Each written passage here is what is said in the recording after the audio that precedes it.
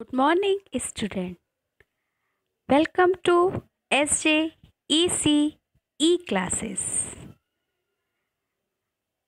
आज हम हिंदी साहित्य में कक्षा सात की वाटिका पुस्तिका की भारत भूमि नामक कविता को पढ़ने जा रहे हैं। इस कविता के जो रचनाकार हैं, वे श्री आर सी प्रसाद सिंह जी हैं। प्रस्तुत कविता में कवि ने अपने देश की भूमि, यानी हमारी जो जन्मभूमि है, भारत भूमि, उसके बारे में हमें बताया है। भारत भूमि के बारे में आप सभी जानते हैं, क्योंकि हमने सबने इस देश में ही जन्म लिया है तो हमें अपने देश को सबके पता है कि हमारा देश कैसा देश है। सभी भाषाओं का मिश्रण, सभी संस्कृतियों का मिश्रण और एक अनूठा संसार हमारा देश माना जाता है। जहाँ की सुंदरता, जहाँ की हर प्रकृति की धरोहर या हमारी सांस्कृतिक धरोहर, हर चीज़ की को दूसरे देश के लोगों को आकर्षित करती है। तो चलिए, अब हम पढ़ते हैं भारत भूमि। सारे जग को पथ दिखलाने वाला जो ध्रुव तारा है, भारत भू ने जन्म दिया, यह सौभाग्य हमारा है। सारे जग को पथ दिखलाने, यानी हम धन हैं। कि हमने ऐसे देश में जन्म लिया। क्योंकि हमार, हमें अपना सौभाग्य मानना चाहिए कि हमारा जन्म भारत देश में हुआ है।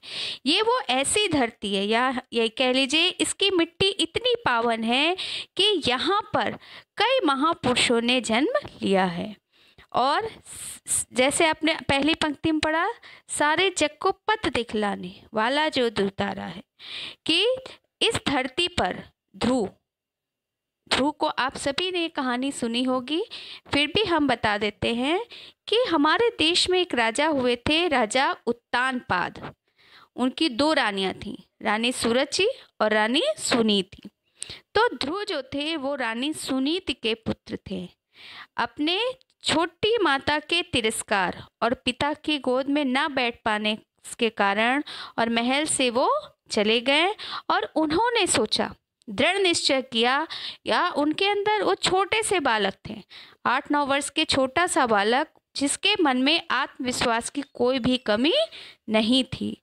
उसने सोचा कि अगर इस पिता के जन्म देने वाले पिता की गोद में मेरे लिए स्थान नहीं है तो मैं उस परम पिता ईश्वर, जिसने इस धरती को बनाया है, उसकी गोद में मैं जा कर के बैठूँगा। और उन्होंने तपस्या करने के पश्चात ईश्वर, यानी श्री नारायण की गोद में स्थान पाया। उनके इसी आत्मविश्वास को जानकर, उनके इसी कठिन परिश्रम को देखकर ईश्वर ने प्रसन्न होकर उन्हें ये वरदान दिया था कि जब तक ये धरती है, जब तक यह आसमान है, वो उनका नाम अजर और अमर होगा। इसी कारण से जो ध्रुव तारा हम अपने आसमान पर देखते हैं, वो आज भी हमें वैसे ही चमकता हुआ दिखाई देता है। तो सारे जग को पथ दिखलाने। और वो ध्रुव तारा कहाँ से उत्पत्ति हुई? हमारे देश भारत से। तो हमारा देश ऐसा देश है जिस पे जन्म लेकर के कई लोगों ने अपने आप को धन्य किया है। धूप खुली है, खुली हवा है। सौ रोगों की एक दवा है। धूप खुली, यानी हमारे देश में कहीं तो धूप है, कहीं खुला उन्मुक्त वातावरण। क्योंकि यही एक ऐसा देश है जहाँ की प्रकृति अपने रूप को बदलती रहती है। यानी ये मान लीजिए कि ऋतु जो है यहाँ पे ये नए नए रूप को धारण करके आती है। जैसा कि आप जानते हैं, कभी यहाँ गर्मी तो कभी सर्दी, कभी बसंत की हरियाली तो कभी वर्षा की बूंदे। ये सब हमारे देश में ही पाई जाती हैं। हमारा भारत भूमि, हमारी जो भारत भूमि है, वो ऐसी है कि हम सभी उस देश में सबको प्यार सिखाती है।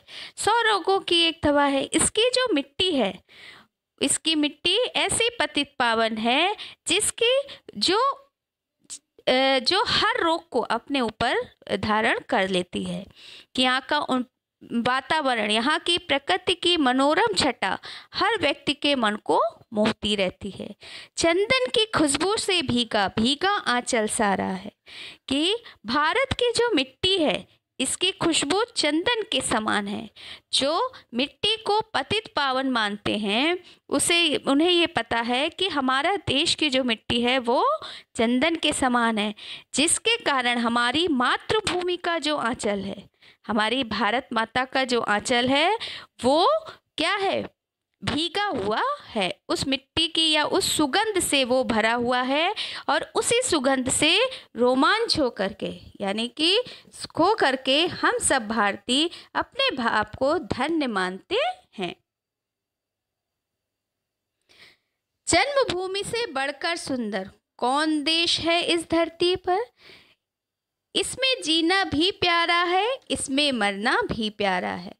अब इन लाइनों में देखिए कवि का तात्पर्य है कि हम सबने अपनी जन्मभूमि से प्यार किया है। यानी हम सब अपनी जन्मभूमि से प्यार करते जैसे हमें अपने घर से प्यार होता है। हम कहीं पे भी जाते हैं, लेकिन हमें सुकून कहाँ मिलता है? अपने घर में आके। घर चाहे छोटा हो, चाहे बड़ा। लेकिन हम सब अपने घर से प्रेम करते हैं। उसी तरह हमारा देश भी हमारा घर है।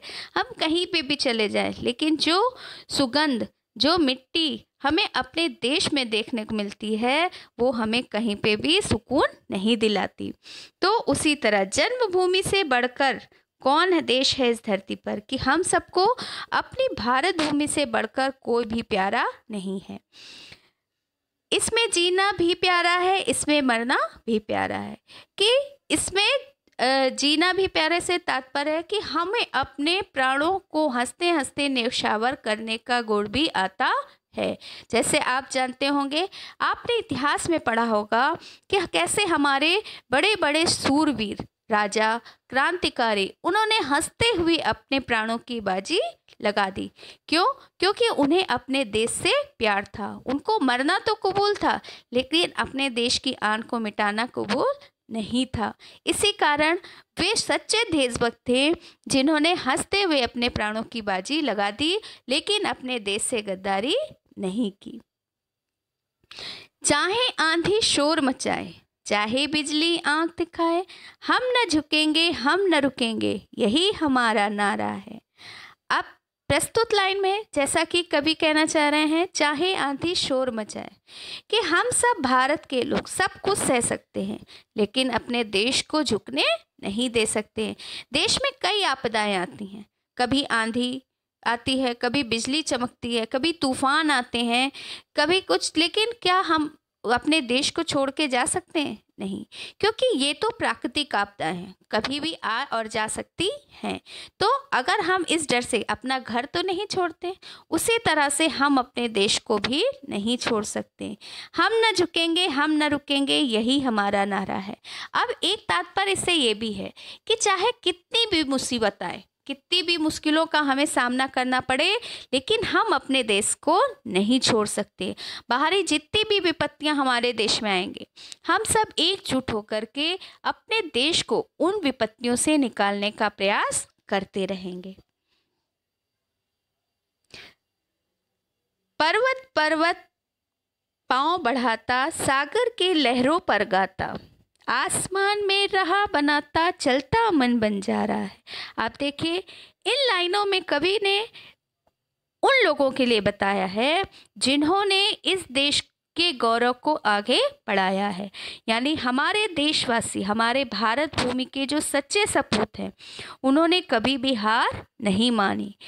हमारा देश निरंतर तरक्की करता रहा है। कैसे? पर्वत पर्वत पाँव बढ़ाता यानी हमने पर्वत की चोटियों को नापने में कभी भी कमी नहीं की। आपने देखा होगा ना, पर्वत आरोही यानी पर्वत आरोहण सुनते हैं आप। उन्होंने हिमालय, उन्होंने एवरेस्ट की चोटी पार की। तो ये सब इसीलिए कि देश के परचम को ऊँचा उठाया, देश के ध्वज को ऊँचा उठाया। ऐसे भी हमारे देश में भारतीय हुए हैं। सागर के लहरों पर गाता, सागर की गहराई को भी हमने अच्छे से नाप लिया है कि सागर कितना गहरा है। क्योंकि हमारे देश के जो सच्चे वीर हैं, कुछ कर गुजरने की जिनमें क्षमता है, वो हर कार्य को कर सकने में सक्षम हैं। हमारा देश निरंतर तरक्की के मार्ग पे चलता, चला जा रहा है। तो पर्वत की ऊंचाई का भी उसे पता है तो सागर की गहराई का भी उसे अंदाज़ा है। आसमान में रहा बनाता, चलता मन बन जा रहा है।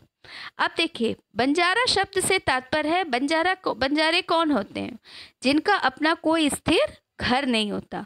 बंजारे कभी भी एक जगह स्थित नहीं होते। जैसे हम लोग घर बना के रहते हैं, बंजारे उस तरह से नहीं रहते। वे खुले आसमान पे टेंट लगा करके रहते हैं और कहीं भी भी पूर्व थोड़े थोड़े दिन रुकते हैं और फिर वहाँ से चले जाते हैं। तो उनके स्थित ना होना, जैसे हमारा मन भी क्या होता है, स्थिर नहीं होता है। हम निरंतर चलते रहते हैं। इसके लिए क्योंकि हमें आगे बढ़ना है, निरंतर आगे बढ़ना है। कहाँ हमारी मंजिल है हमें पता नहीं है। उसी तरह बंजारों को भी पता नहीं होता कि उनकी मंजिल का है। तो कवि ने अप, मन को बंजारे की संज्ञा दी कि हमारा मन जो है, वो आसमान में भी रहा बनाता है। आसमान में इस मतलब है, हमने कई ग्रह पार करे। चंद्रमा पे पहुँचे, अंतरिक्ष में पहुँचे तो इस तरह से हमने आसमान में भी अपने देश का परचम लहराया है। हमारा देश का जो ध्वज है, वहाँ पर भी पहुँच गया। और फिर भी हमारा मन उस बंजारे की तरह है कि हमारा मन स्थिर नहीं है। हम कुछ नया करने की चाह में निरंतर आगे बढ़ते रहते हैं।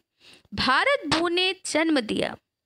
सॉरी, चाँद और मंगल का सपना। सच होने आता है अपना। अमर तिरंगा ध्वज उछालकर नवयुग ने ललकारा है। चाँद और मंगल का सपना। इस लाइन से क्या आप समझ में आ रहा है आपको कि चंद्रमा और मंगल। अब जैसे कि आपको पता होगा, हमारे देश में पहले हमारे भारतीय जैसे राकेश शर्मा, कल्पना चावला, इन लोगों ने चंद्रमा पर भी जा कर के हमारे ध्वज को ऊँचा किया है। यानी हमारे देश के गौरव को आगे बढ़ाया है। इन्होंने वहाँ पर भी अपने देश का परचम आगे किया है। तो इसके कारण हमारा जो तिरंगा है, सच होने जाता है। अब मंगल का सपना, मंगलयान भी हमारे भारत से छोड़ा गया है, आप सबको पता होगा। तो सच होने जाता है अपना, जो भी सपना वैज्ञानिकों ने देखा है, जो भी सपना उनकी आँखों में था, उसे पूरा करने की वो प्रयासरत हैं, निरंतर कोशिश करते रहते हैं। ऐसा नहीं है कि उन्होंने पहली बार में ही सफलता की प्राप्ति कर ली होगी। कई बार ऐसी मुसीबतें भी आई होंगी कि उनका कार्य असफल हो गया होगा। लेकिन फिर भी उन्होंने डर कर भय से उस अपने कदम पीछे नहीं हटाए, बल्कि और जोश के साथ आगे बढ़ते रहें कि हमसे ये कार्य अगर नहीं हुआ तो हम इसे ही करके दिखाएँगे। अब अमर तिरंगा ध्वज उछालकर नवयुग ने ललकारा। नवयुग यानी नया जमाना, आने वाला समय। तो ध्वज उछाल, अमर से मतलब है कि हमारा तिरंगा, हमारा राष्ट्र ध्वज क्या है? अमर है। उसे उछाल कर यानी अपने उमंगों के साथ हम अपने देश के उस तिरंगे का सम्मान करते हैं। उसे उस मुकाम तक या उस ऊंचाई तक पहुंचाना चाहते हैं जहाँ से हर व्यक्ति उसे झुक करके सलाम करे या उसे देखने के लिए हर व्यक्ति अपने अब गर्दन को ऊँचा उठाए, जिससे कि हम अपने देश के गौरव को, अपने देश के नाम को ऊपर उठा सकें। हमारी भारत भूमि जो है, ऐसे महान वीरों से सुसज्जित है, जिन्होंने अपने देश को गौरवशाली बनाने के लिए निरंतर कदम बढ़ा, बढ़ाया है। भारत भू ने जन्म दिया है, यह सौभाग्य हमारा है। और भारत भूमि ने हमें जन्म दिया, ये हमारा सौभाग्य है कि हम सब इस देश के वासी हैं। हम, हमने जन्म लिया, हमारे देश में किसी को भी, किसी भी धर्म को, किसी भी को को वही सम्मान प्राप्त होता है जो सबको प्राप्त होता है। हमारा देश ऐसा देश है जहाँ पे निरंतर